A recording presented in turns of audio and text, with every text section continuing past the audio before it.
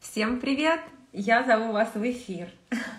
Сегодня очень интересная тема. Я вчера побывала на очень крутой выставке а, в Академии художеств в Лондоне и хочу вам показать, что я там увидела и рассказать вам о Фрэнсисе Бейконе. Привет, Надечка! Собирайтесь, пожалуйста, э, я надеюсь сделать это интересным. И прежде чем я начну вам рассказывать, я хочу сразу очертить какой-то круг для самой себя и понять, что я буду вам показывать эту выставку своими глазами. Вот то, как увидит этот человек, который пришел на выставку, но не простыми глазами, а глазами художника. Конечно же, я изучала историю искусства, но вот в программе моего, моей академии у нас не было а, именно про этого художника, и о нем я уже узнала намного-намного позже.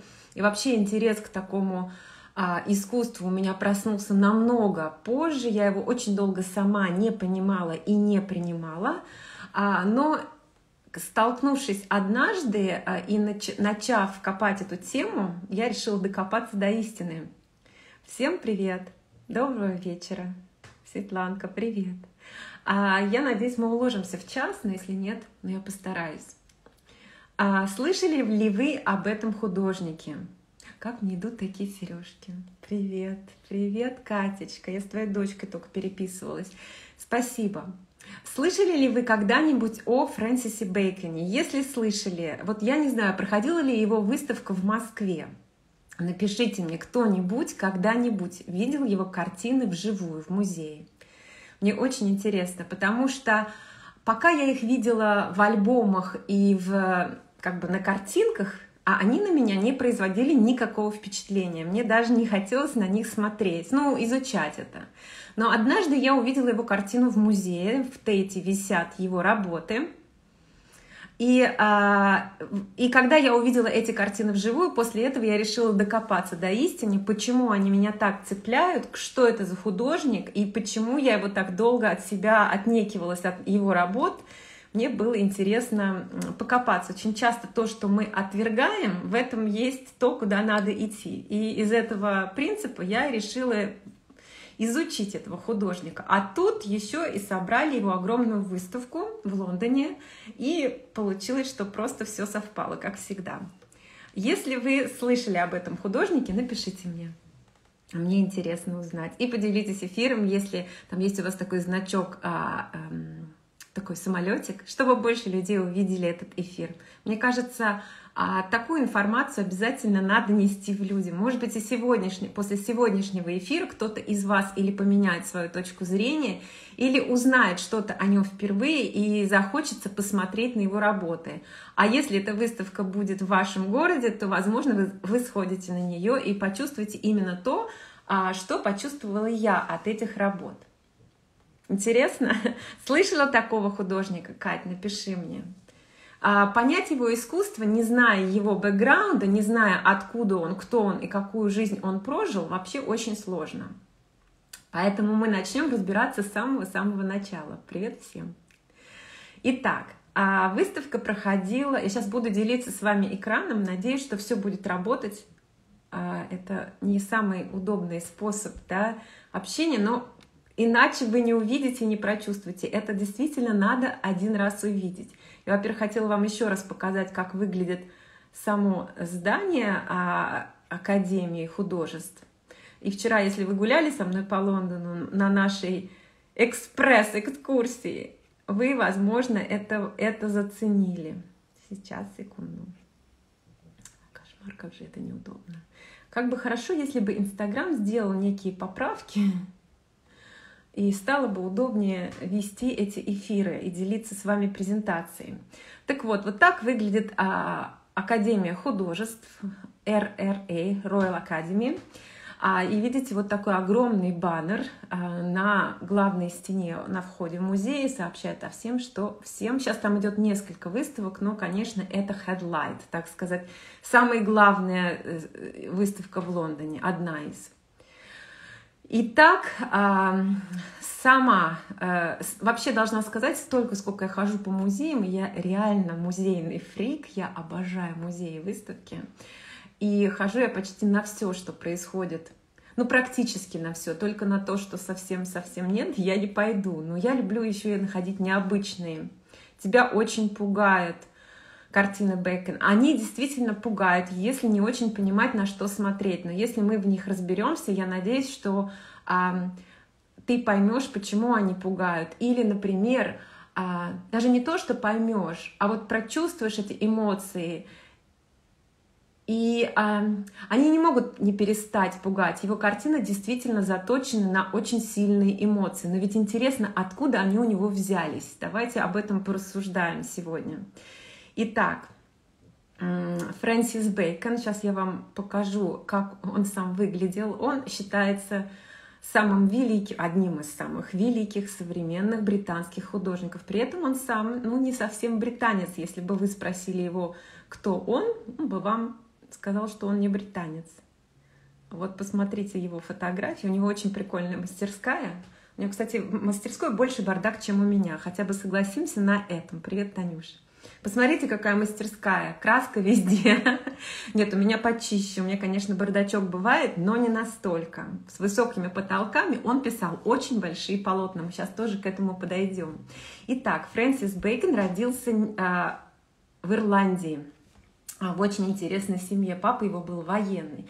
При этом надо понимать, что такое Ирландия. Он родился в 1909 году, в начале, можно сказать, века.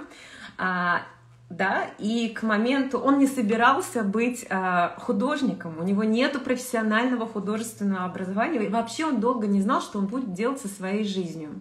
А сейчас будет несколько таких фактов про него, да. Э, у него в семье э, кто его вообще семья, а, откуда он пришел. А, я сейчас вот это расскажу, а потом основную тему его вот картин, мы к ним перейдем. Но просто мне кажется, не зная, откуда он пришел, сложно будет понять, почему он это начал писать. Итак, его папа был военным, профессиональным военным из рода военных, да, то есть они переезжали много. И он родился на территории, э, родился в Дублине в 1909 году. И а, его отец к тому времени был уже отставным военным и занимался разведением лошадей в Ирландии. При этом надо заметить, вот сейчас будет важная тоже вещь, что у Бейкона с детства была жуткая аллергия на животных, жуткая, жутчайшая, на собак, на лошадей, на все. И при этом, зная это, его отец заставлял его заниматься верховой ездой, зная, что сыну будет плохо, он будет задыхаться, и это прям было насилие над ребенком. И это он вспоминал очень часто, что от отца это вот это насилие он все время, ну представляете, военный, некий отпечаток, да, все-таки это дает. А, мама его была из очень а, такой известной семьи Ферт, это из э, Стэнфорда, эта семья, по-моему, занималась сталелитейный э, какой-то бизнес у них был. То есть у него семья не бедная, давайте так скажем. Хоть и Ирландия мега бедная страна в начале века, а, там в основном все занимались агрокультурой, взращиванием, как все смеются, картошки для выживания. Твоя шестилетняя дочка предложила помочь дяде с уборкой. Я тоже бы сошла с ума, если бы я была в этом, в этом помещении. Я с дочкой со, согласна. Да, и вот его мама была из семи стальных магнатов, из Шеффилда. Это там, где а, да, индустриальная революция и все деньги. То есть семья была довольно зажиточная. По-моему, у них было трое детей, трое или четверо, не помню точно. А нет, извините, пятеро детей. У них, у него, у них было две дочери, три сына. И... А, Фрэнсис Бейкон, э, надо сказать, что в Ирландии в это время, а это же очень католическая страна, а очень религиозная и очень пуританская к тому времени. Настолько были э, строгие нравы в Ирландии в то время, что, например, если девушка там до свадьбы, там изгнание из городов, ну то есть это был ужас, что там творила церковь с людьми, и э, насколько это все было, ну знаете, Гиппократы. На самом деле люди очень страдали от этого, но религия правила Ирландии не то слово. Мне кажется, даже в Англии такого не было, как было там. И а, у Бейкона была няня, то есть такая зажиточная семья. И вот с этой, кстати, няней он был настолько близок, он общался с ней до самой ее смерти, и ее смерть очень сильно на него повлияла. То есть он был взросшен вот этой приходящей няни, не помню сейчас ее э, имя, но это не так важно. Это значит, что у него была э, очень тесная связь с ней.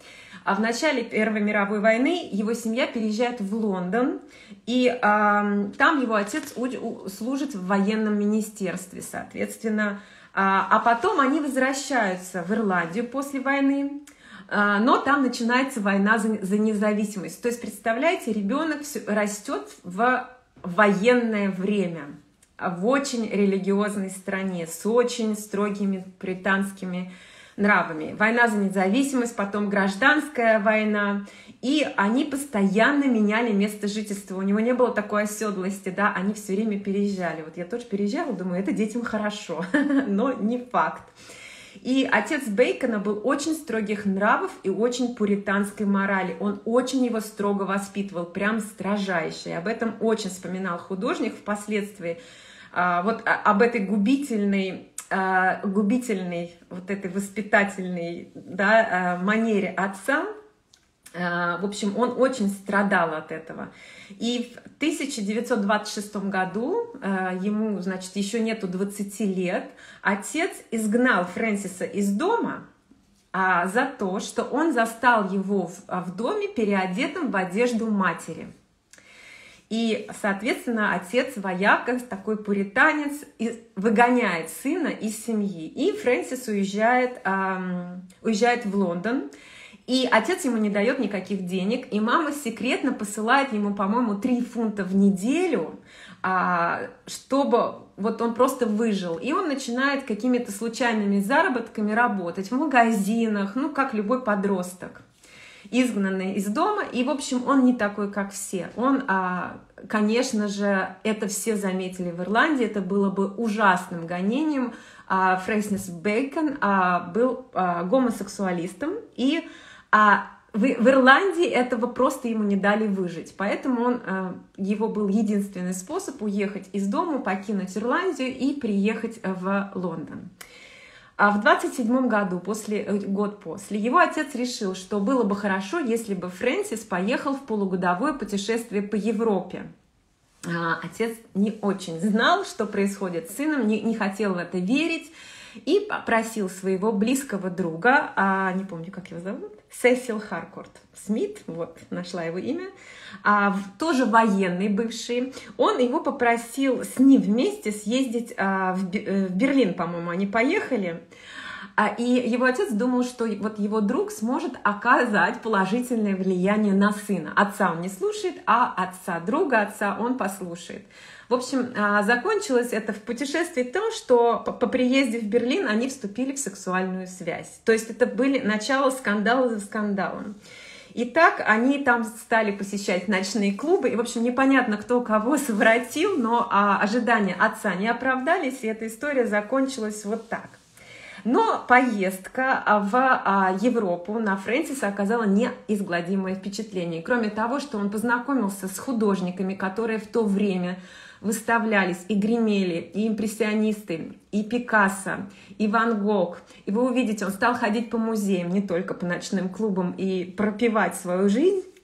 А, это, конечно, знакомство с культурой и искусством. Он увидел первый раз фильм а, Эйзенштейна броненосец Потемкин и кричащий крик да, людей сподвиг его на одни из работ. Мы потом их увидим, и я вам еще об этом расскажу.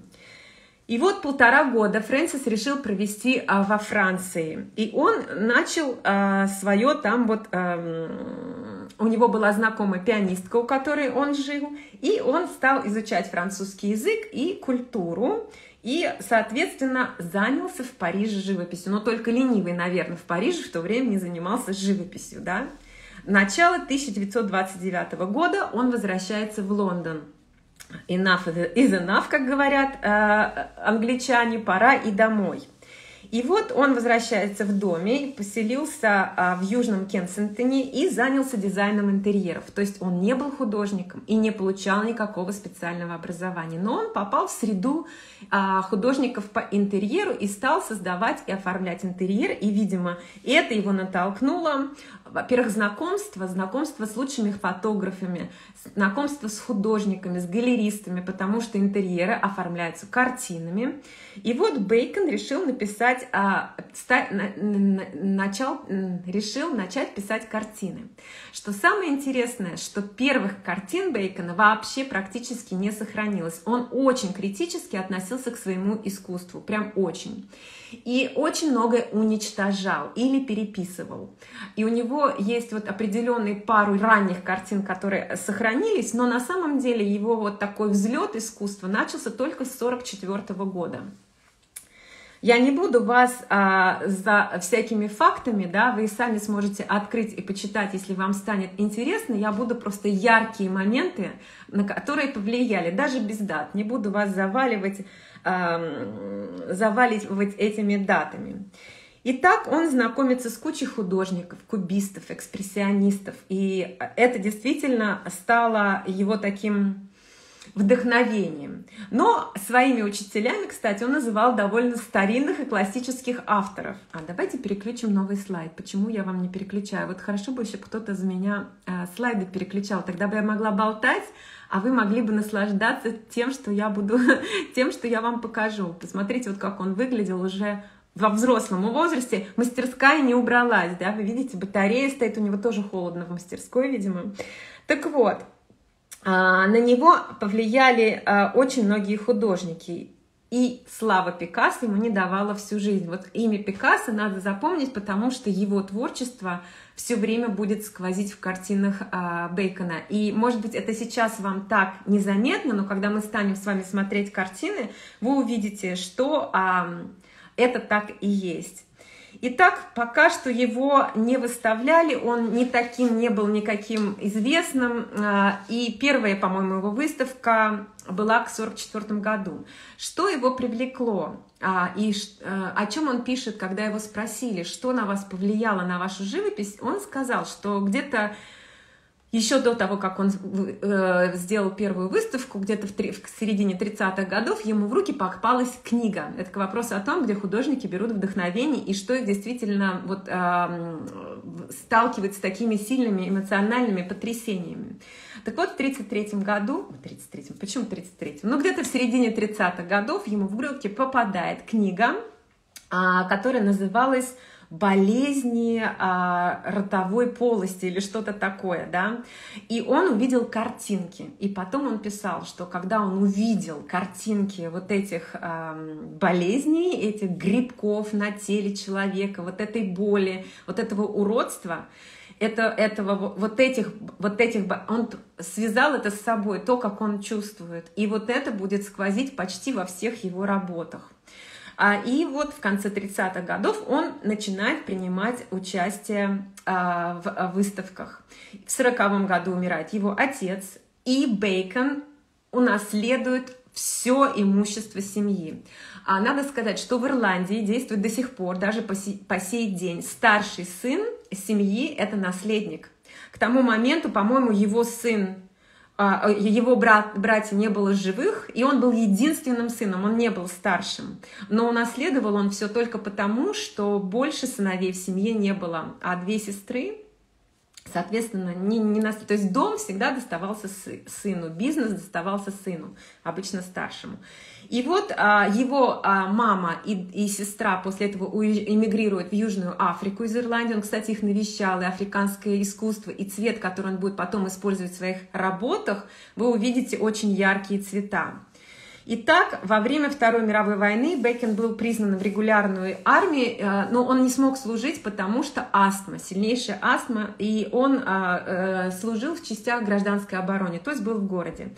Но его все время ухудшалось у него здоровье, но он был безумный гуляка и алкоголик, ну реально очень-очень много пил.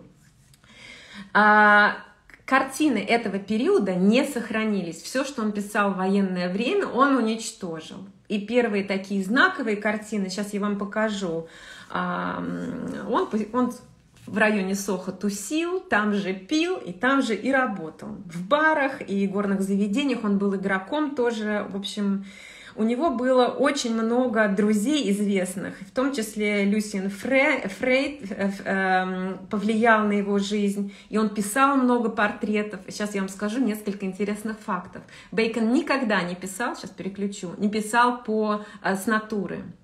Он всегда а, брал фотографии, и пользовался он фотографиями только своих друзей, фотографов, а, но он не писал с натуры. Он считал, что люди не заслуживают, что это его отвлекали, отвлекало как художника. И вот интересно, что на этой выставке в Лондоне рядом с картинами очень часто висели фотографии, по которым он писал эти работы. Сейчас буду вам показывать, это ужасно, мне неудобно. А надо сказать, что на его работы повлиял а, очень Веласкес по цветовой гамме, по всему-всему, что вы будете видеть. Я сейчас буду вам листать и показывать. Вот это первый зал, где висят три ярких работы. Сейчас еще получше слайд найду. Это работы 44 года, с которых началась слава. Слава его как художника. Вот, вот это такие три, э, три работы. Надо вообще сказать, что а, Бейкон писал триптихи. И вообще он говорил, что я вижу мир и вижу изображение Сирина. И почти все его работы написаны в триптиках. Вот такой интересный факт. А, этот а, этюд. Он первый создал в 1944 году. И назывался это «Три этюда к фигурам у подножия распятия». И именно эта работа считается краеугольным в его творчестве. Посмотрите, это такие монстры, это такие мегеры, это что-то мифологическое, это фурии, мифологические существа, существа персонажи из э, Аристеи, э, мифы Аристеи из Хила. Это а, персонажи, которые располагались у подножия распятия. То есть у него будет все время отсыл к религиозности. Потому что Ирландия и его гонение в его сексуальности, которую он не мог раскрыть, тогда нельзя было об этом заявлять в открытую, их лечили, если вы знаете такие факты, их, на них были гонения, и эти отношения никогда нельзя было а, афишировать. То есть вся его жизнь была как бы все, что нельзя. Он шел наперекор всему обществу, и общество его не воспринимало. Было очень много картин. Сейчас я попробую открыть эту картину которые в обществе вызвали кучу протестов, а, когда он писал как бы борцов, но явно это было а, любовь между двумя а, мужчинами. А для этого, кстати, на выставке прям было видно, какие фотографии. Он действительно брал фотографии борцов и использовал их для... Запомните вот этот триптих, потому что через 44 года а, Бейкон повторит эту работу в другой цветовой гамме. Это действительно очень интересно. Вот еще одна из краеугольных картин его творчества «Распятие». Распятие, и это здесь вы уже не видите ничего человеческого. То ли это кожа, то ли это ребра. Очень сильно повлиял на него Веласкес. Он сам говорит, что Диего Веласкес по своей манере, по вот этой а, такой гамме цветовой, по вот этому настроению и эмоциям откликался ему очень близко в, это, в этот период именно. И а, дальше, что стало с ним происходить? А, Сейчас я еще раз покажу вам одну работу, которая, ну, тоже одна из самых-самых знаковых работ, и почему он стал греметь и стал быть известным. И тут как раз Диего Веласкес будет прямо напрямую. Сейчас, секунду, я сохранила специально один слайд, где эти две работы висят вместе. Висят и стоят вместе. Где они? Вот они. Посмотрите, пожалуйста, это портрет там Э, кардинала, папы. И а, в данном случае посмотрите на то, как взяв вот этот портрет Веласкеса работу, а, Бейкон пишет свой вариант. А, вот все его отношение к религии в этих работах. И посмотрите, он сажает эти существа у него портреты и любые, все, что он пишет людей, это как бы звери, это монстры, которые сидят в каждом из нас. Он вообще считал, что мы как бы в нас сидит зверь. И а, когда критики стали говорить о том, а, даже описали его искусство, что у Бейкона крик, вот который Мунк написал, там крик как звук, как испуг, так вот Бейкон пишет крик так, что у него через рот вылезает все тело. И вы увидите, все время у него будут а, вот эти открытые кричащие рты. На, почти на многих картинах и почти на всех его портретах будет вот этот знак. Клетки, в которых он сажает, это тоже такие стеклянные, как бы прозрачные клетки, в котором, то есть мы все заключены как существа в некие клетки. И животное вот этот монстр, он есть в каждом из нас. Просто мы его контролируем или не контролируем, но он его зарисовывал. И поскольку его отношение к религии, к папе, ко всему, он рисовал это несколько, но это самая известная работа. Сейчас я не помню, за сколько она была продана, но у меня есть выписано, у кого есть эти работы, за сколько они уходили. Кстати, сейчас Бейкен входит в число, в десятку самых дорогих художников, которые были проданы на аукционе за 144 с чем-то миллионов а, фунтов была продана его работа. Но мы к этому подойдем, очень интересно. Итак, а, что же... А, он знакомится с очень влиятельными галеристами, которые тоже его начинают продвигать. Это все не просто так. Конечно, он попадает, как говорится, в нужный момент, в нужное место, чтобы а, да, выстрелить и стать заметным, потому что те же интерьеры, которые он оформлял, он стал, показал свои работы и э, стал, э, стали, э, соответственно, люди покупать его. Он был очень не похожим на все, что происходило в искусстве а, этого времени. А непохожесть, шоки, такой шок некий искусства, плюс то, что вызывает такие сильные эмоции, а, и вот эта тема гомосексуализма, соответственно, тогда это все стало выводиться наружу, стало а, более явным. Сейчас я вам покажу эм, работу, секунду. Вот, вот эти борцы, она, кстати, висит сейчас на выставке, я вот ее сняла. И посмотрите, а, как он делит. Опять, то ли это ринг, то ли это трава, то ли это опять какой-то забор, не забор, но это клетка, в которой находятся два якобы тела. И народ тут, конечно, забесновался. И посмотрите, как он использует а, холст. А, Бейкон писал и на обратной, неогрунтованной а, поверхности холста. У него холст светится через краски и через а, мазки. И очень интересно смотреть, как он работает кистью и как он динамично вводит вот эти, а, а, вот эти, а, вот да, линию, то ли ветер, то ли все против их тел. Но сказать, да, когда люди сказали, это мужские тела, тут доказать ничего нельзя. Все было очень завуалировано, но очень читалось, понимаете? Настолько мощные эти зверские тела, которые в борьбе, да, а, не от... хоть художник не откликается в положительном смысле, решила послушать. Послушайте обязательно, потому что я уверена, что к концу эфира а вам станет понятнее это, это искусство. Вот действительно, послушайте, потратьте полчаса. Итак, он, конечно, много путешествует, и когда его мать с сестрой переезжают жить в Южную Африку, он тоже э, путешествует по Африке, вдохновляется культурой, вдохновляется искусством. И вот у него появляется даже и сфинкс в работах, и краски, совершенно меняются краски, в котором, которые он эм, стал пользоваться. И вот уже в 40-х годах о Бейконе стали говорить как об одном из ведущих британских художников. Его работы все чаще выставлялись на публике, и а, самая крупная выставка его произошла в Лондоне, и такие, там выставлялись а, головы, которые он написал, этюды к человеческому телу, этюды к портрету, то есть он начинает показывать вот этих зверей, этих животных внутри, искаженные. Сейчас давайте еще так тяжело перелистывать, я извиняюсь. Хочется рассказать. Посмотрите, пожалуйста, да, триптихи с лицами. Это его любовник, это его партнер, с кем он жил.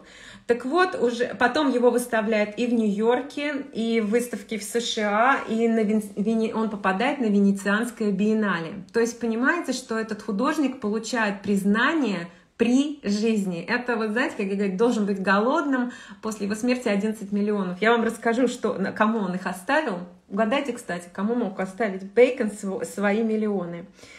И так он, конечно же, становится... Это, он встал на дорогу к успеху, и он это понял. Ему предлагают контракты, а, и а, у него уже к тому времени куча долгов, он игрок. И галерея ему предлагает контракты, говорит, мы оплатим все твои долги, а ты будешь рисовать, мы будем выставлять, и мы будем договариваться о твоих выставках. То есть у него появляются агенты. И он живет в Южном Кенсингтоне. Кстати, это был до конца его дней его база. У него на первом этаже была прям огромная мастерская, где а, он создал свои самые крупные полотна. А, кстати, все эти картины очень большие, клянусь. У него есть картины там 2 метра почти на полтора. И это в триптих. То есть, если вы возьмете такую картину 2 на полтора и в три раза их сложите, это просто огромный, другу не пусть, очень близко. Так вот, а, его уже в 62 году, его выставка происходит уже в Тейте, да, в Лондоне. То есть все, его раскрутили, он на вершине, э, к нему все внимание. И тут он знакомится с Джорджем Дайером, это он становится его любовником, и а, занял важную позицию в его творчестве. Он его направлял, он им э, руководил, он им занимался как творцом, а, организовывал, но а, он был из очень... А, и главное, вот что, еще интересная история где-то накопала, что а, Бейкон говорил, что он познакомился с Дайером. Дайер был из очень низких слоев, вот прям совсем из, низ, из низов общества. Дикий алкоголик, страдал алкоголизмом страшным. И, в общем, в депрессии, сейчас я расскажу, был в депрессиях. И по словам художника, знакомство произошло, когда он застал Дайера грабящим его дом. То есть он залез к нему в мастерскую, и Бейкон в, этот время, в это время пришел домой и его там застал. Так они познакомились. Как вам такая прекрасная э, любовь с первого взгляда, можно сказать? Что случилось с, этим э, человеком и вообще как он на него повлиял? А, в 1971 году у Бейкона а, да, сейчас, секундочку, до того, как это случилось, давайте скажем о том, что Бейкон всю жизнь находился под а, а, влиянием Пикассо. И успех Пикассо не давал ему покоя. Нет, нельзя гуглить. Да, 11 миллионов он оставил. Давайте, дождитесь конца, и вы узнаете, кому досталось это сокровище. Итак, в 1971 году Бейкона приглашают в Париж устроить ему а, в одном из а, самых крупных а, галерей Парижа, сейчас не помню, не помню название, но это именно та галерея, в которой получил признание и успех Пикассо. И, а, конечно же, Бейкон соглашается на эту ретроспективу. Они едут э, с Дайером в Париж, и а, в день открытия выставки а, Бейкон приходит на выставку, происходит презентация, открытие, успех, а, куча публики, куча а, людей, которые под впечатлением от выставки. Он возвращается в номер отеля, открывает дверь, а там лежит на полу мертвый Дайер, Джордж, который совершил самоубийство. Вот в этот день его открытия. Представляете, какой шок. Это любимый человек, а, в день триумфа, э, к которому так долго шел а, Бейкон, он находит его а, в номере отеля. По-моему, то ли это было за день до открытия или прямо в день выставки. Вот не помню этого факта, но я помню, что это было вот в этот приезд. Он напился таблеток и запил это все огромным количеством алкоголя и умер на полу отеля. И у Бейкона начинается депрессия, очень тяжелая, очень затяжная. И через год он пишет триптих. Сейчас я вам должна его показать. Подождите. Кстати, посмотрите вот на эти работы. У него не один портрет, а вот если вы смотрите сейчас, да, как будто все в движении. Вот представьте, человек помахал головой, да, то есть все съезжает. Где нос, где скула, как будто, да, смазали таким фильтром. То есть у него а, движение, секунду. У него движение почти во всех работах. Сейчас я вам покажу этот триптих известный, который он пишет после смерти своего а, любовника, которого нашел на полу. И это одна из знаковых работ. Это человек с двух сторон, это триптих опять. Слева и справа он сидит на стуле, это искаженное тело, это какие-то это розовые пятна то ли крови, то ли души, которые уже от него уходит. За ним черная пропасть, дверь, которую улетает вот это вот тело. И третий момент, вот это, видимо, уже когда он его на полу увидел, это уже существо мертвое, это полу какой-то зверь, монстр. Эм, да, да, он рисовал то, что мы прячем. Это правда. И он говорил, что вот эти звери, мы и есть звери. Он, он пошел в зоопарк и, и делал серию а, работ шимпанзе. Его очень это вдохновило. Я не сохранила эту работу, но вы ее видите. Она тоже очень известная. На ярко-розовом фоне сидящая в движении вот эта огромная а, обезьяна. Представля... Э, понимаете, он, он писал эмоции, он писал вот те звериные чувства, которые он да, сам испытывал, будучи загнанным в клетку своей сексуальности, своего непри... непринятия своей семьи, своего отца, общества, которое его гоняло за его, а, за того, что он просто был другим. будет ли запись. Я постараюсь, мой хороший. Итак, а, через два дня, а, да, открывается в Гран-Пале, открывается его а, выставка. Тут вот трагедия с, с, со смертью Дайерсом, самоубийством. И уже в, этот, в эту выставку он выставляет 108 картин, из них – а, и в том числе 11 триптиков. И все эти триптихи огромные, они с человеческий рост, если не больше. Представьте, это все должно поражать и вас затягивать в эти черные дыры. Не на, при взгляде на любую из этих картин вы себя, они вас как затягивают в туннель. Э, я не знаю, как он это создает, но даже страшные эмоции и сильные эмоции могут затягивать. Поэтому а, вот так, так Самые высокие оценки получает а, у зрителей и у критиков эта выставка, то есть успех приходит, а любимые люди уходят. И, кстати, к концу жизни Бейкон говорил, зачем, он писал много автопортретов и мало людей, и писал, зачем писать людей, ведь они все умирают. То есть он действительно терял людей в своей жизни очень часто, и каждый раз это уходило в депрессии и вот в такие сильные работы. Итак, а, в том же году Бейган возглавляет список самых выдающихся художников современности, составленный французскому журналом. Э, но, несмотря на профессиональный а, успех, он в жутком, да, в жутком депрессии, его уже это ничего не радует. И вот эти триптихи получили название «Черные триптихи». Вот это как раз после самоубийства. Он чаще начал обращаться к автопортрету, так как, по его словам, люди вокруг меня мрут как мру, мухи, и больше некого писать, кроме самого себя. Ох, вообще, у меня мурашки по телу, когда я стояла после этого после этой работы, вот действительно, ну, очень сложные, очень. Итак, сейчас э, я вам расскажу про последний период Бейкона, потом мы еще посмотрим, а, раскрою вам секрет, э, кому он оставил свои э, работы, и поговорим об его стиле.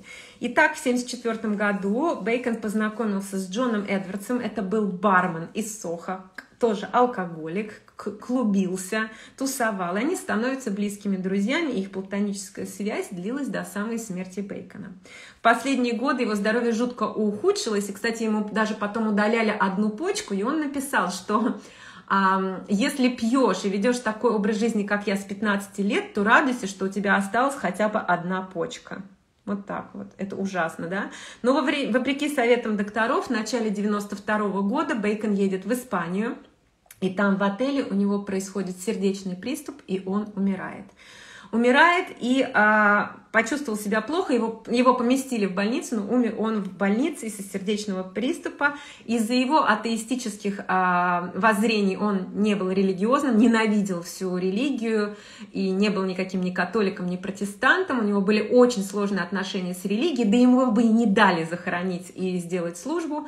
А после его смерти его прах, а, ну просто поминальная служба не проводилась, тело было кремировано, прах развеян, а все свое имущество, составившее на тот момент 11 миллионов фунтов, Бейкон завещал Джону Эдвардсу, вот этому бармену, алкоголику из Соха. Вот такая как бы э, финал этого, финал этой жизни, этой истории был именно таковой. А теперь давайте поговорим о вот том, как считывать его искусство. Теперь мы знаем, откуда, какая боль, с какими демонами он боролся. И, кстати, сама выставка, она вот человеческие демоны, человеческие монстры, так называется выставка. Э, у него не было профессионального образования. Он долго набирал, э, подбирал свой вот этот, в каком стиле, в каком, вообще чем заниматься, пока он не рисовал. Он экспериментировал с любыми видами и жанрами. Еще с 30-х, 30 э, с 30 годов сохранил всего 15 его работ. То есть, как я сказала, он а, абсолютно не а, щадил своих а, работ. И, кстати, своими учителями он называл и Рембрандта, и Микеланджело, и в том числе Тициана, Веласкеса. И вот как раз тот портрет папы Иннокентия, как раз вот целая серия этих папских портретов, кричащих, орущих, раздирающих вот этих эм, Хорошего, видимо, был бармен. Да, выпивали они, да, не то слово. И, конечно же, самый часто встречающийся образ а в, а в его живописи – это крик. Это кричащие головы. А вот я хотела вам показать еще вот эту собаку. А она мотает головой, она на цепи, за ней что-то, какой-то как будто бы пляж, какие-то, э, не знаю, проносящиеся объекты, а она на ринге одна под парящим солнцем, и это на холсте написано, видите, прям видно, что собака мотает головой. Вот его аллергия к животным, и при этом он все время возвращается к образам животных и вот этой разрывающей силы животной внутри него. И, конечно же, крик – к этому мотиву он будет возвращаться все время, все время, все время. Куда бы вы ни смотрели, будут открытые пасти, открытые, э, открытые рты. Конечно, как я сказала, что он не использовал в качестве э, натуру, никогда не писал. У него была одна модель, которую он написал, но и ту он сказал, что нечего их писать с фотографии. Давайте я вам еще что-то покажу. Хочется показать много, но насколько будет удобно показывать. Я с самой выставки наснимала очень интересные работы, и сейчас еще про несколько вам расскажу. Посмотрите, пожалуйста, вот, например, портрет. Это женщина, это портрет одной из его... Ты цепь не видишь, она мелкая, но там она есть как будто. Если ты откроешь это да, видимо, больше некому действительно не было. Он был очень одинокий человек. Он же и говорил, пишу себя только потому, что все вокруг меня мрут, как мухи. Поэтому одиночество в нем было ужасно сильное. Я не нашел еще, я не нашел еще более подходящей темы для выражения человеческих чувств. Так он говорил про это, что эмоции и зверство выходят через рот. И так он не писал с натуры, использовал только фотографии. С момента изобретения фотографии живопись действительно полностью изменилась. В моей студии поврежденные фотографии разбросаны по полу. Я использовал их, чтобы написать портреты друзей, а затем сохранить. Для меня проще записать писать с записей, чем с самих людей. Так я могу работать в одиночку, опять чувство одиночества, не хотел никакой компании, одиночку и чувствовать себя свободнее. Когда я работаю, то не хочу видеть никого, даже моделей. А эти фотографии для меня как записи на память. Они помогают мне передать определенные черты, определенные детали. А, я не буду перечислять фотографов, которых он использовал, фотографии которые, но это были фотографы а, Вога и вообще очень известные фотографы. Соответственно, это такая богема, да, лондонская богема.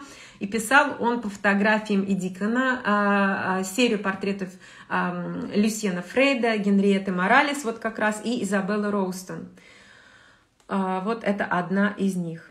За 144 и 4 миллиона фунтов была продана картина не так давно, да. Сейчас мы поговорим об этом. Если вам интересно, я вам тоже напишите, вам интересно узнать, у кого есть эти работы, а, и я вам расскажу. И у шейхов арабских, и у российских миллиардеров тоже есть эти работы.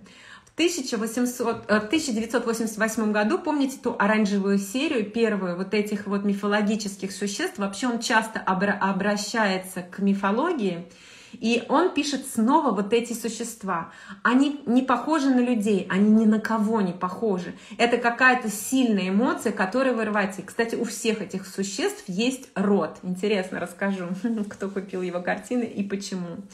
А почему нравятся такие картины? Потому что они вызывают очень сильные эмоции.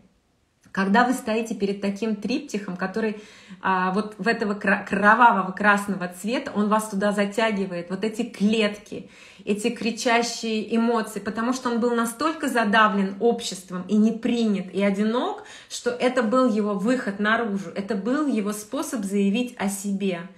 И а, сейчас я, кстати, хотела рассказать вам, что было три работы, которые никогда не собирали вместе. Поскольку Бейкон писал триптихами, и было их очень-очень много, большая серия, он... А, ни одна картина пока не нравится. Давай все-таки найдем, что тебе понравится. Сейчас найдем. А, я хочу рассказать вам про то, что он... Сейчас сбилась у меня мысль. Про триптих. Ой, убежала мысль. понравился очень сильный. Они очень эмоциональные. Там есть и птицы, и гимеры.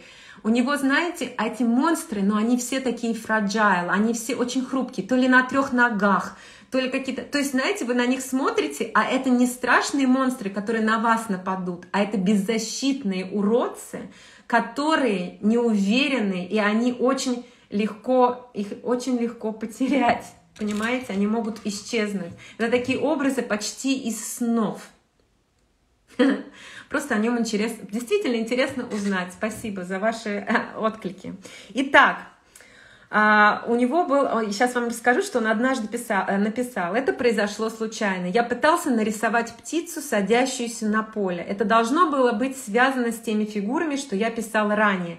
Но внезапно моя линия, которую я рисовал, пошла в абсолютно другом направлении. Если вы слышите, слышали когда-то о нейрографике, это как раз то, а, направление, в котором они говорят, что линия должна идти, куда она хочет идти что рисовать с натуры дело практики, а вот такое видение дано не каждому правильно, правильно. Потом был Дали. Дали пришел позже. Вот понимаете, это пред Дали. Давайте так скажем. Тебе напоминает правильно, на, на тонких ногах, правильно. Они хрупкие, они какие-то и почти из снов, да, израненная боль. Вы не представляете, когда выходишь из этой выставки, вас колотят вы еще долго под впечатлением. И когда вышли вчера, я провела группу по музею, мы вышли и все сказали, нужно выпить, очень тяжело. Реально эти эмоции, она больше вас, понимаете? Эта картина огромная. А, и вы, вас в нее затягивает эта, эта боль, эта эмоция. А, вот, я хотела рассказать про Трихпи, мне вернулась мысль, да. А, я хотела вам рассказать, что у него есть а, работа, где бой быков. И вообще быки у него одна из линий, которая в течение его творчества идет постоянно. Из работы в работы вы будете встречать и серии быков. И вот он пишет серию быков, я хочу вам ее показать. Она была продана, и все три работы ушли в разные коллекции. Сейчас, секунду. Я а, сняла ее на выставке, а, я не скачала ее в интернете. Я просто хочу, чтобы вы эти работы увидели то, как они висели в зале. Вот это одна из них, посмотрите. Тут люди стоят, но я люблю людей в залах, это прям мое. А, я люблю смотреть, как люди смотрят картины, поэтому я часто снимаю. Так вот, это такие в ярко-оранжевом а, цвете, с розовым. А, там и матадоры, и быки, которые рвут эти тела, и кровь, а, которая не как кровь написана. Сейчас я найду другой кадр. Секундочку. Секундочку. А, сейчас, секунду. Как же это как же неудобно делиться слайдами. Я извиняюсь, что я немножко подвисаю, потому что просто э, очень много, и я хочу найти очень определенный слайд. И каждый раз приходится возвращаться. Этих три быка, их собрали, а, они были проданы в три галереи. Посмотрите, вот один из них. Это бой быка, внизу вот пятно, то ли кровь, то ли какая-то, знаете, там и белая краска такими пастозными. Кстати, у него была серия работ, посвященная даже Ван Гогу. Сзади как будто приоткрыта дверь, как стекло, и за ней публика, которая кричит этому Матадору, и бык дерется, и знаете, там просто такое движение. И вот эти три картины разъехались на в три разных коллекции. И вот в этом году все три картины собрались первый раз за все время в одной комнате. Все три быка. Притом посмотрите, как интересно кураторы оформили саму выставку. Цвет стен выбран очень темный, прям очень-очень темный. И за счет этого все картины и краски начинают кричать на зрителя. Они реально орущие картины, орущие своими эмоциями. А, своей динамикой, своим... А, и к теме Матадоров он будет возвращаться снова и снова. Вот вторая из этой серии. Видите, тоже какая-то тень человека, то ли уже на рогах какие-то, ну, это действительно потрясающая серия работ, при этом цвет у него очень здесь позитивный, надо сказать, цвет не раздражающий. Мне цветовая палитра, в которой он работал, она очень яркая, она не темно-британская, давайте так скажем у него действительно а, ощущение и яркость цвета, но это может быть и а, спасибо Пикассо, спасибо Матису, под которым он потворил. Но посмотрите, люди, а, пережившие первую, да, то есть ребенком Первая мировая война, потом Вторая мировая война, все гражданские войны, это действительно сложно. Вот посмотрите, вот я сняла в музее, это вот вторая серия этих монстров, может быть, даже поближе сейчас найду, но смотрится это все очень красиво. Это масло, он писал подмалевок акрилом, обычно под такие большие полит, по, эм, по такие большие, сейчас вот я покажу вам еще работы. Вот они вот так висят в зале. То есть они действительно огроменные, да, видите? На темно-синих, темно-зеленых а, стенах, да, подмалевок сделан акрилом, и поверху самих монстров, вот белые тела на акриле, он пишет маслом, но он не прорабатывает детали, он вообще не про детальность и не про реализм. Как я говорю, хоть он использовал фотографии, но он не писал. Вот еще хотела вам показать триптих вот этот, видите, везде эти клетки. Это очень а, такой а, характерный для него а, такой прием вот этих вот клеток. Он рисует, а потом линиями обозначает границы вот этих движущихся монстров. Он как бы, извиняюсь, хочу включить лампу, сажает их в клетки. Темно стало. А видите, какая яркая цветовая гамма? Она ему присуща. Это не... Это многие картины. У него даже был триптих, где он написал, по-моему, называется «Бабушка-модель» и кто-то сейчас... Сейчас я вам покажу. Она на ярко-розовом. Вот это огромные картины, как будто какая-то полоса, какие-то женщина с зонтиком узнается. Кстати, зонтик у него в нескольких работах мелькнул, и мы пытались разгадать эту тайну, почему он в них вел зонтики очень красивые по цвету, а работы действительно яркие, поющие и звонкие. А вот по тематике, ой-ой-ой, этот, этот, эту звонкость хочется избежать. И вот к теме Матадоров. Вспоминайте, пожалуйста, Пикассо, а, тема быков, и вообще он себя с быком ассоциировал, и писал, рисовал зарисовки быков. У Пикассо просто, да, очень много. Это его такой, такой его значимый. И а, решает создавать э, такие работы, и он пишет вот такую серию, очень сложно, если вы хотите ее рассмотреть, там просто Ираны, это опять Матадор, это кусок ринга, а, кусок а, как с какой-то опять дверью, то есть у него все время да, соотношение из одного мира в другой, из одну реальность в другую. А, да, это, это тоже как личные границы, это как клетка личных границ, как личное пространство для вот этого монстра в движении, его надо ограничивать. Так вот, а, где-то из, из уже раненый Матадор, его нога разодранная, где-то он уже лежит там дальше мертвый. Сейчас постараюсь вам показать на одном здесь не видно кадре, вот где их три будет видно у меня. Сейчас я посмотрю секунду. Там уже тело лежащее Матадора. Это он пишет к концу жизни такое, такие уже в таком... Ой, это прям реально в последнем зале. Знаете, когда я вчера гуляла по этой выставке, я уже второй раз на ней была. Первый раз я водила одну группу, второй раз вот мы были с другой группой. И я каждый раз, когда оттуда выхожу, я думаю, боже, как хорошо, что выставка небольшая. Ну реально, это было бы очень тяжело походить по такой выставке. А если бы было работ слишком много. То есть там действительно, может быть, 5-6 залов огромных работ, и вы выходите, и вас вот так колотит. Хорошо, что напротив бар. Как вы поняли, мы вчера там и лечились от этого искусства шампанским. Ну, у меня у подружки был день рождения. И вот сейчас мы подойдем к очень важной вещи, если я ничего не упустила. Посмотрите вот на эту работу. Сейчас я еще получше найду а, фотографию. Посмотрите на эту работу. Это последняя работа, которую пишет а, Фрэнсис Бейкон перед смертью. И здесь явная ассоциация себя как быка. Сейчас я найду фотографию, где а, э, ее видно целиком. Сейчас, секунду. И вы сможете рассмотреть и понять, что я имею в виду. Вот если я так включу, видно? Угу. Вот.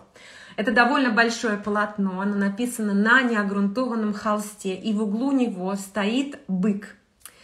И бык, это все написано черно-белым. То есть если все его картины кричали цветом, призывали внимание и требовали а, от зрителя вот этой эмоциональной цветовой включенности, то последняя картина написана черно-белым. Стоит одинокий бык, уже нету раненого Матадора. И этот бык уже на переходе сломе каких-то реальностей. Он уходящий куда-то в другую реальность. Он, эм, ну вот скажи мне, Селенка, Ленка, Селенка, не знаю, как вас зовут, эм, скажи, пожалуйста, вот эта картина не вызывает ли у тебя каких-то эмоций после того на пустой ринг? Он выходит из, или уходит с, с ринга, какую-то другую дверь реальности. То есть прочтений может быть очень много. Я вам клянусь, когда стоишь у этой работы, и ты понимаешь, что это его уже финальная работа, он, конечно, не собирался умирать от сердечного приступа, но согласитесь, а, этот путь, который проследует от всех этих кричащих уродцев на трех ногах, с изломанными телами, изломанными суставами вывернутыми, посмотрите, к чему он пришел. Насколько это, Оля, насколько это а, интересно, насколько он прошел через вот этих монстров и вышел к вот этим линиям быка плавным, спокойным. Да, это про одиночество и грусть. Ты приходишь в этот мир один. Ты один эту жизнь проживаешь, и ты один у нее, из нее уходишь. Это дикое прощание. И реально мы вчера там стояли, и со мной стоял рядом мужчина-художник, он зарисовывал эту работу в блокноте. И вот из всех работ, которые там есть, эта работа финальная, она перед выходом висит на очень темной стене, в этой золотой раме. Девчонки, чувства всех переполняют. с одной стороны, ты благодарен, что эта выставка не 120 работ, а действительно очень знаковых, веховых работ от мифологии, от Веласкеса, от кричащих религиозных мотивов. И, и вы выходите к вот этому, после всех этих корид, после борьбы с Матадором, вы подходите к этому буку и прощаетесь с художником. Это действительно до мурашек, э, реально. Да, эти двери многие трактуют как выход в жизнь, уход, да, это действительно страдание. Он не мог себя, он не мог показать себя настоящего очень долго, потому что все, чем он являлось, было запретным в обществе. Был отвергнут всем и вся. Но надо сказать, что художник, который добился при жизни огромного успеха, выставлялся, скупался, а, спонсировался, а, но он был жуткий пройдоха, вот игрок, алкоголик. Я думаю, что там тоже, как одна из девушек, которой вчера я вела тур, и она сказала, Даша, что он принимал.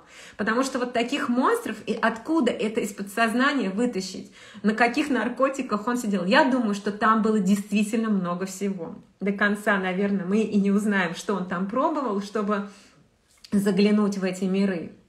Но мы знаем, что многие творческие люди творят такие образы именно под воздействием всяких препаратов. Но, как бы то ни было, действительно жуткий, жуткий пройдоха алкоголик. Но вот, видимо, а, это, в этом он уходил от этой реальности, искал спасения. Кому принадлежат после смерти картины? Секундочку, картины продавались при жизни очень-очень-очень. И э, это прям, и все триптихи искупались музеями, Нью-Йорком, и а, лондонскими музеями, и частными коллекциями. То есть это очень-очень-очень. Он был признанным. Я говорю, что после смерти он оставил 11 миллионов своему этому бармену, другу последнему. Я так думаю, что это был последний человек, близкий в его жизни, который вот просто был с ним в конце его пути. Был бы кто-то другой, он бы оставил все кому-то другому. То есть он действительно от одиночества и от безвыходности не было семьи, не было никого, кому он мог это оставить. Так вот, давайте немножко про арт-рынок поговорим. Конечно, он очень, э, очень востребованный художник. Он умер в 92 году э, от сердечного приступа. При этом продаваясь. И а, его картины, конечно, уже после смерти художника, как мы все знаем, как говорит мой брат, не задерживайся тут, картины будут расти а, в цене. Люди говорят, что смерть забывается, но это не так. В конце концов, моя жизнь очень несчастлива, потому что все люди, которых я действительно любил, все умерли. Но я не перестаю думать о них, а и время меня не лечит. Вот так написал о своих работах а, Бейкон. Время не лечит, смерть не переживается. Люди, которых ты любишь и которые уходят из твоей жизни, боль это не проходит никогда. И, видимо, под этой болью он писал и создавал эти, эти работы. А я надеюсь, вам стало немножечко понятнее, а, откуда, откуда эти химеры, откуда эти изломанные тела, откуда эти кричащие, призывающие ваше внимание головы, лица, почему на этих образах открыты рты, через которые выворачивается все тело, и к какому образу художник пришел в итоге. Напишите, если вам стало чуть-чуть понятнее. Я не говорю, что эта картина, знаете, как мы когда ходим по выставкам, всегда люди говорят, я смотрю на картину так, купила бы я себе такую работу, повесила бы я в стену, если бы ну, могла себе, хотела бы купить, у меня не было ограничений в финансах, повесила бы ли я себе картину э, Бейкона в дом. Это картина, которая веет холодом. Эта картина, даже если написана ярко-оранжевым, это крик о помощи. Это призыв к вниманию. Мне больно, мне плохо, посмотрите на меня. Правда? Спасибо за информацию, за эмоции. Я надеюсь, они у вас эти работы вызвали эти эмоции. И, конечно, сложно с экрана телефона передать. Если вам интересно, зайдите, почитайте об этом художнике, а, посмотрите его работы, посмотрите, как он передавал движение. Вообще все, что он пишет, всегда о движении, всегда о переходе из одного состояния в другое. У него нету ничего точного. Он портреты не пишет не потому, что он не умел рисовать, да, а потому что для него была важна вот эта транс, э, трансляция из одного состояния в другое понравилось, спасибо. Но себе бы не купила. Я бы тоже вряд ли повесила. Но вот быка бы, может быть, повесила. А остальное это очень болезненно. И даже где он пишет просто портреты людей. Одна моя э, подруга вчера сказала, он написал так свою подругу, если бы меня так написал мой друг, я им сказала, слушай, я не такая. Вот такие эмоции. Итак, в 2007 году э, семья шейха Катара приобрела этюд к портрету папы Иннокентия на красном фоне. Вот эти кричащие папы в шляпах. Эта работа одна из известных, вы ее везде увидите, за 53 миллиона долларов. Потом в следующем году а, была куплена а, триптих 76 года, куплен на аукционе Сотбис в Лондоне Романом Абрамовичем за 86,4 миллиона. Так что у Абрамовича есть его работы. Видите, Абрамович себе купил, девочки. Это инвестиция. На самом деле такие работы покупают банки и покупают шейхи. Это инвестиция денег. Потому что его работы только, а, только будут расти в цене. Вы же понимаете, художника уже нет, он ничего больше не создаст. Поэтому все работы будут только расти. Итак, а, три работы, а, три наброска к портрету Люсьена Фрейда, кстати, с которым он разругался. Они были близкими, ближайшими друзьями, потом они разосрались, так скажем. Продана за рекордную цену 142,4 миллиона, миллиона долларов. в феврале 2014 года анонимный покупатель из Америки. Это тоже все инвестиции. Я не думаю, что она висит у кого-то дома. Кстати, знаете, что делают а, люди, которые покупают эти работы? Вот что, они что, думаете, вешают их себе дома? Кстати, напишите, как вы думаете, что делают люди, которые на аукционах покупают это искусство? Так, а в феврале 14 значит, купили за 70 миллионов это а, американцы. И а, на Кристис еще один три этюда к портрету Джона Эдвардса. Это вот последняя его любовь, которому досталось все состояние. Был продан на аукционе Кристис уже за 88, почти за 81 миллион долларов. Вот такая история. Вы, конечно, можете полистать его работы.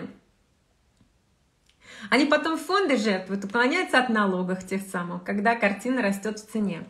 А картины а после покупки очень часто остаются в музеях. Они ездят по выставкам, и люди зарабатывают тем, что эти картины, да, они хранятся в сейфах, они хранятся в музеях, они хранятся в запасниках, а, иногда они хранятся, понимаете, чтобы держать такую картину, какая у нее будет страховка. Ну вот просто, да, то есть страховка у такой работы на столько миллионов, это очень дорогое удовольствие. Но я думаю, что эти шейхи могут себе позволить платить за... Они жертвуют, не, не, они не жертвуют, картина принадлежит им, но она ездит по музеям и выставкам и зарабатывает тоже деньги. Вот и на ее содержание, соответственно, потому что музей страхует работу при их перевозке, музей отвечает за транспортировку, это все безумных денег стоит. Купил картину, еще кучу проблем вместе с ней, потому как ее хранить, перевозить, страховать и все остальное. Вот такая история. Это очень удобно. Да, это очень удобно. И они ездят и работают, деньги приносят деньги. Ну и плюс к тому же, через какие-то там 10-15 лет, если они выставят ее на том же аукционе, эта картина уже будет стоить намного-намного больше. То есть, вложив однажды, подождав 10 лет, например, а, можно тут же и заработать. Инвестиции в арт одни из самых а, прибыльных. Но тут надо знать, во что инвестируешь, и иметь терпение, чтобы ждать того времени, когда работа подорожает. Не успела к началу, где проходит выставка. Выставка в Лондоне а, в музее а, Royal Academy of Art, Королевская академия художеств. Вот, прекрасная выставка, на которой я была вчера в Лондоне, да.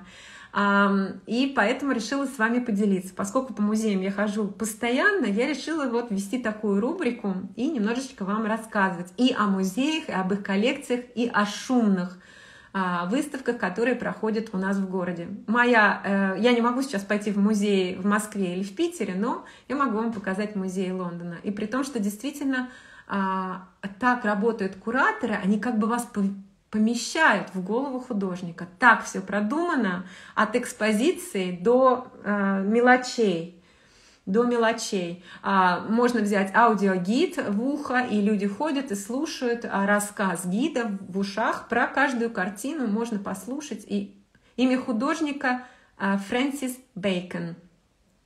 Спасибо. Я благодарю всех, кто сегодня ко мне присоединился. Напишите, было бы ли вам интересно еще про какого-то Бейкон. Да, пишется без и кратко. Ну, есть разное написание по-русски. Бывает через «э» без и краткое, бывает с удовольствием посмотрела. Спасибо, Наташ. Скоро будет еще интересный у меня поход намечен а, на выставку в мой любимый Виктория и Альберт, про которую я вам как-то рассказывала. Давай еще. Понравилось? Круто же, правда? При том, что я могу вот говорить об искусстве бесконечно, и мне кажется интересно ходить. Почему мои друзья и ученики любят ходить со мной на выставку? Они говорят, ты видишь это как-то по-другому, как художник, как бы изнутри. Не так, что вы читаете гид в ухо, вам рассказывают сухие факты. А, а как бы через пропущенные, через своего, свой взгляд худож, художника очень интересно.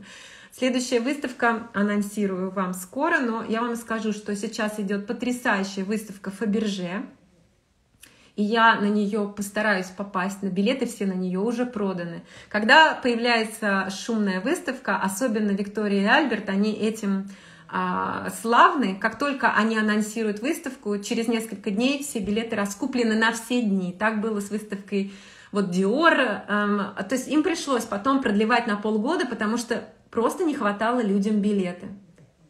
Про Викторию и Альберта э, я делала недавно огромную а, интервью, не интервью, а э, эфир.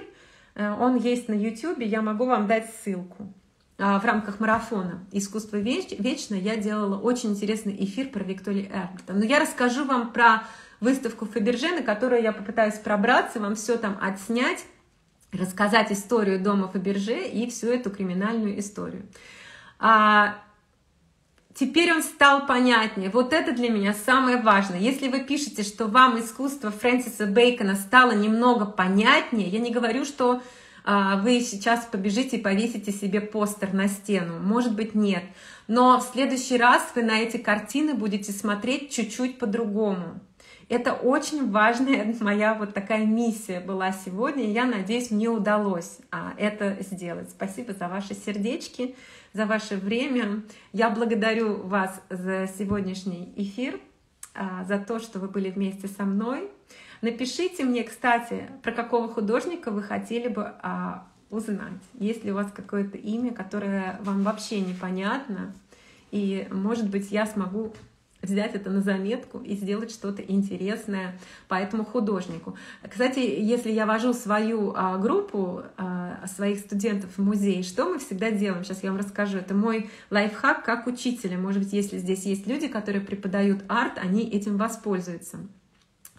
А, очень часто я веду своих а, студентов в музей, мы идем пока мы идем к музею, мы разговариваем, я рассказываю историю подноготную, какие-то факты, которые повлияли на художника и его работы. Потом все расходятся по музею, внутри музея саму экскурсию а, вводить нет смысла, у всех есть гайды, но мы встречаемся после, выходя из музея. Но иногда я вожу по залам, конечно, все равно все подходят говорят, Даша, объясняют, что вот это, а почему вот это. Кстати, мазки очень интересно рассматривать технику. Я всегда даю задание, что надо найти на этой выставке и а, что, на что обратить внимание, на какой картине. И потом скажу почему. И люди, значит, вот ищут эти факты, которые я указала. И я им говорю о каком-то интересном факте, говорю, найдите картину, она будет там висеть, вот именно это в ней будет. И вот люди ищут эту картину, потом мы выходим, они мне говорят, нашли они ее или не нашли, разгадали или не разгадали мой ребус.